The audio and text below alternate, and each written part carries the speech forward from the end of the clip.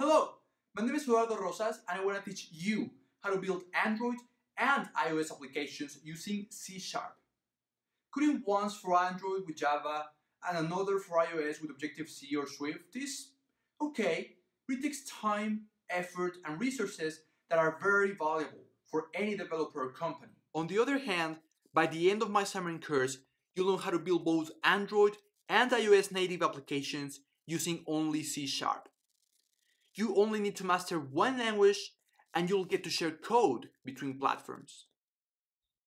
I will teach you the basics of the C Sharp language that will be shared across platforms, how to implement cloud-based services into your app, such as cloud databases, push notifications, and authentication, how to integrate Facebook into your apps, all of this while building four real-world applications and so many more things.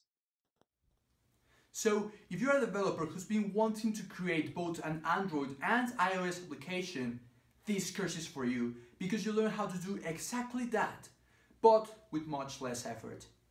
This is also very good for your career. Just picture yourself going to your boss, asking for a raise, because they now only have to invest in you instead of hiring one developer per platform. So what are you waiting for?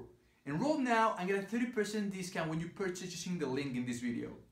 I look forward to see you in the course.